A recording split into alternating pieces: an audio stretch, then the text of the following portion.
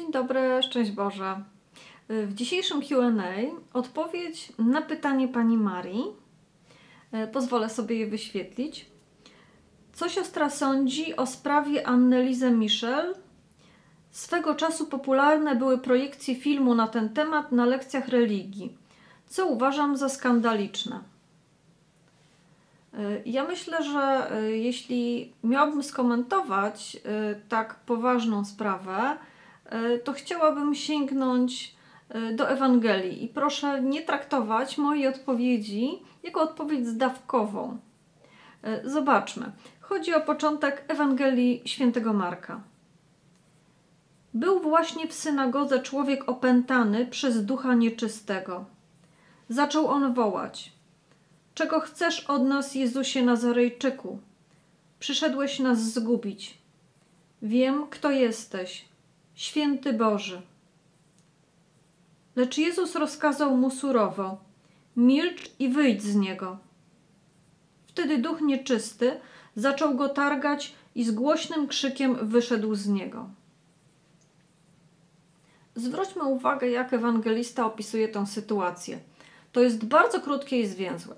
Chodzi o synagogę, to jest miejsce zdarzenia, jest tam człowiek opętany, szatan próbuje sprowokować Pana Jezusa, który przyszedł do świątyni. Pan Jezus go ucisza i wypędza. Jest krótkie i bez żadnych ozdobników, bez żadnych zbędnych opisów, drastyczności itd. Tak e, jeśli się popatrzy e, także po innych scenach, w których widzimy, jak Pan Jezus wypędza złego ducha, to u wszystkich ewangelistów znajdziemy te sytuacje opisane w podobnie skąpy sposób. Inna rzecz, że tych sytuacji nie ma też zbyt wiele. E, I myślę, że praktyka Kościoła przez stulecia była właśnie jakby odzwierciedleniem tej filozofii zawartej w Ewangelii. To znaczy, traktuje się rzecz bardzo poważnie, bo egzorcyzm i opętanie są rzeczą niezwykle poważną, ale nie robi się z tego jakiegoś tematu do omawiania i epatowania nikogo. Egzorcyzmy, ich przebieg, zawsze otaczała dyskrecja.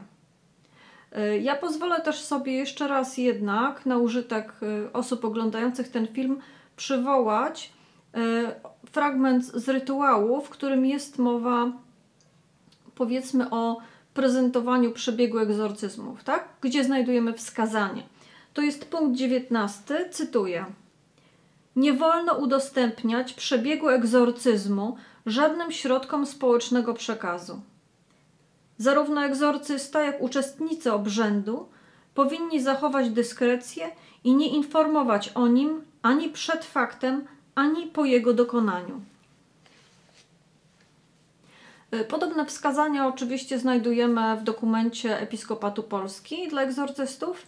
Y, oczywiście odnośnik zarówno do y, cytowanego przeze mnie rytuału, jak i do dokumentu Konferencji Episkopatu Polski umieszczam w opisie filmu. E, na koniec tylko jeszcze komentarz do tego, że pani napisała, e, że jakby pani uważa to zachowanie, znaczy w sensie e, pokazywanie tego rodzaju filmów jak egzorcyzmy Anne-Lize Michel na lekcjach religii jest skandaliczne.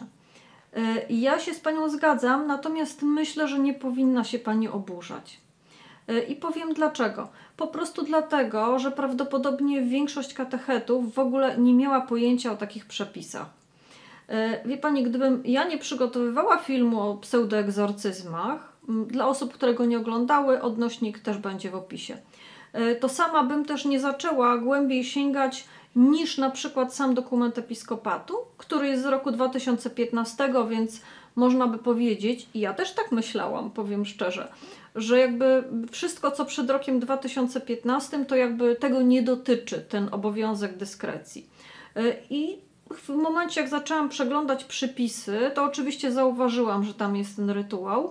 I dopiero wtedy do niego sięgnęłam i no, uderzyło mnie to, bo jest to, y, jest to rytuał posoborowy, czyli no powiedzmy, że jednak to jest dokument, który ma kilkadziesiąt lat, y, bo po reformie liturgicznej także y, zmieniono mm, ten tekst rytuału.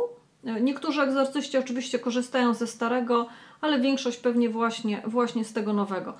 Mm, I to jest tak, że katecheci, y, no oczywiście w kurikulum studiów teologicznych świeckich, no nie będzie takich detali y, w ogóle. No nie wiem, czy, czy na jakichkolwiek studiach teologicznych dla świeckich y, będzie więcej niż dwa semestry teologii i liturgii. A tu jakby, no to jest rzecz, która do tego nawiązuje. Myślę też, że nawet kapłani będący katechetami, mogli, czy mogą po, po, dzień dzisiejszy nie mieć takiej świadomości, że jest taki przepis i że on obowiązuje wszystkich. Y, myślę, że y, znaczy, dlaczego przypuszczam, że w seminariach też tak jest? Y, bo jednak jeśli jakiś kapłan ma pełnić posługę egzorcysty, to temu towarzyszą specjalne przygotowania i jakby z założenia wtedy dopiero jest czas, żeby zapoznać się z takimi przepisami, więc no, nie oceniałabym tak surowo tych osób, które mm, pewnie w dobrej wierze w gruncie rzeczy ten film pokazywały, zakładając, że to jakoś wstrząśnie e, innymi. To mam nadzieję, że odpowiedziałam wystarczająco. E, jeśli by trzeba coś uzupełnić, to oczywiście proszę o komentarz. Tymczasem pozdrawiam serdecznie, zapewniam o pamięci w modlitwie. Z Panem Bogiem.